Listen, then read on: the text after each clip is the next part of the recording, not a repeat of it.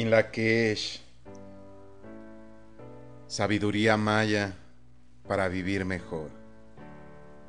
Sábado 9 de julio del 2016. Tenemos el día del viento resonante. Uk Ik. El Kin 202. El viento, Ik, es el aliento divino.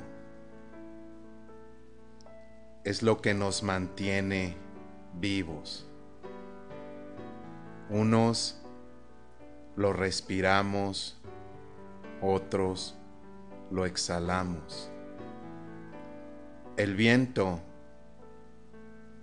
nos recuerda que vivimos en un universo dual,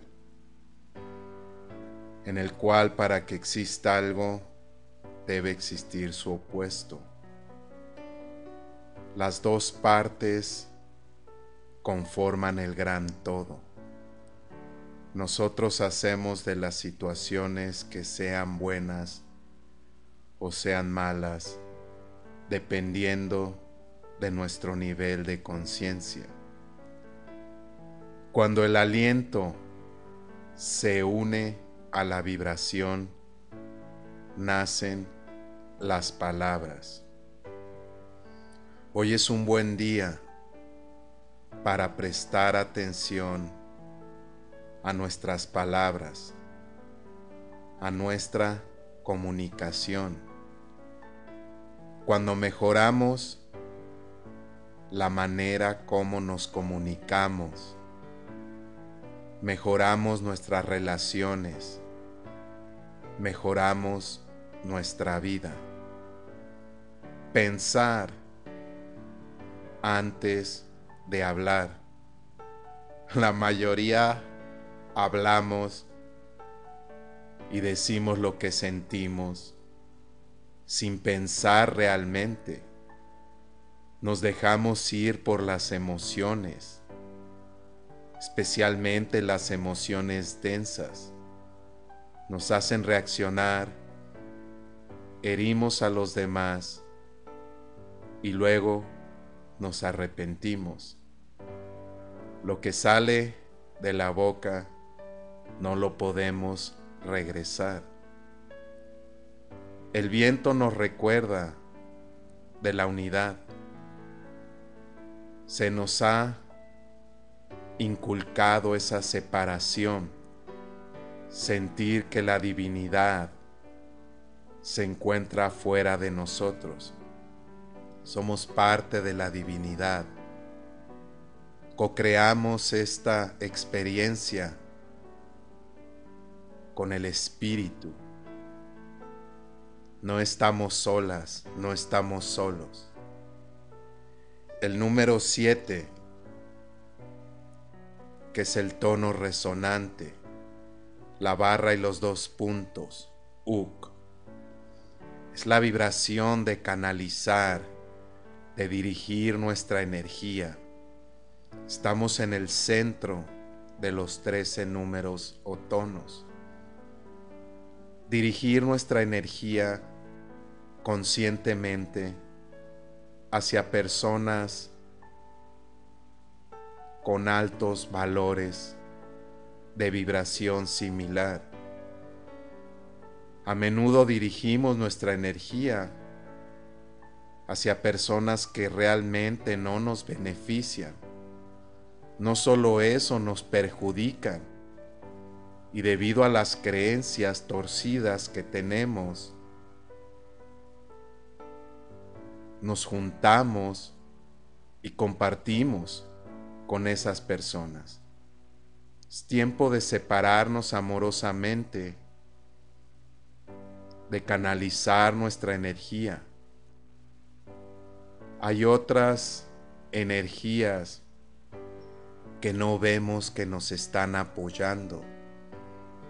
Absencia de prueba no significa prueba de absencia nos guía la energía del mago. Ish. El mago es el Balam, el jaguar tan sagrado en la cosmovisión maya. Son los chamanes. El mago nos invita a ser atemporales. La temporalidad es vivir el aquí y ahora. Es el único momento. A menudo la mente dual la cual es una herramienta. Le gusta irse al pasado constantemente o al futuro. Es ahí donde se identifica. Pensar con exceso en el pasado es igual a depresión. En el futuro miedos y ansiedades. Si estás deprimido o deprimida, es muy probable que estés viviendo en el pasado y comparando. Acepta el momento presente, acepta lo que vives. Tomó todo el universo para llegar a este momento y lo queremos cambiar, no nos gusta. Todos los momentos son bellos, son irrepetibles, no hay dos momentos iguales.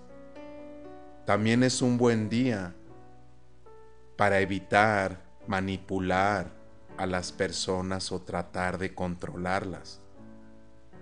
Aunque sea por su propio bien, cada quien tiene un camino. En directa proporción como tratamos de decirle a los demás cómo vivir su vida, vamos a sufrir. Esta información es una guía Utiliza lo que te funciona, lo que te ayuda, lo que no, suéltalo. También es un buen día para el autoconocimiento. El mago sabe que la mayor sabiduría es el autoconocimiento. La mayoría sentimos que por habitar el cuerpo nos conocemos si le preguntas a alguien si se conoce, hasta se ríen. Claro, soy yo, ¿cómo no me voy a conocer? Te comienzan a decir los títulos, diferentes cosas que son papeles que jugamos. Hoy es un buen día para ver la magia en la vida. Continuando en la mitad de la trecena maya del guerrero sí. Todavía nos quedan seis días para practicar el trascender el ego. El planeta es un mundo lleno de egos caminantes. El ego es esa personalidad que creemos ser, esa identificación con la forma. Un guerrero de luz sabe que su mayor batalla es consigo mismo, consigo misma es trascender el ego, cuestionar con inteligencia la información que recibimos. Creemos todo lo que vemos en la televisión, los medios de comunicación sentimos que porque salen en la televisión deben de decir la verdad, igual que el gobierno. No es así, es lo opuesto. Cuestionar y crear nuestra propia experiencia. Todavía tenemos seis días para encarar nuestros miedos. Los miedos es lo que nos detiene realmente de vivir. El miedo es el combustible del guerrero. ¿Cómo podemos dirigir la energía para alcanzar el propósito? Que el propósito lo marca el guerrero. Y es a través de la comunicación, mejorar nuestra comunicación.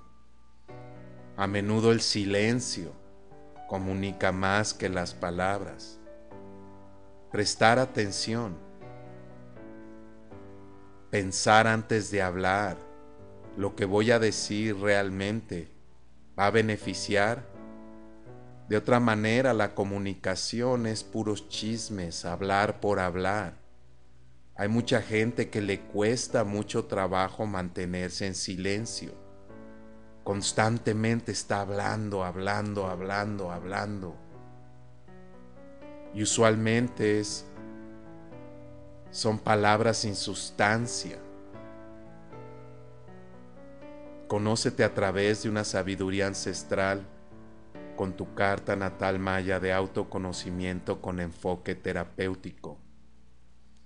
Una herramienta la cual te ayuda a mejorar tu vida, tomar mejores decisiones y no que las decisiones te toman. Evitar reproducir patrones una y otra vez, atraer las mismas situaciones. Mucha gente se pregunta por qué.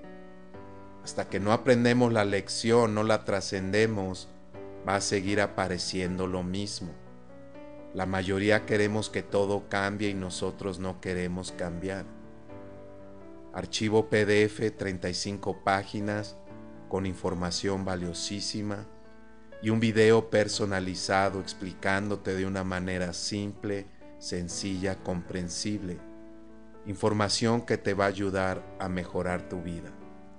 Gratitud infinita por su atención, luz, amor, paz y sobre todo entendimiento. In Lakesh, Kamanik Balam, al servicio planetario. Ayun Hunapku, Eva Maya, Emaho.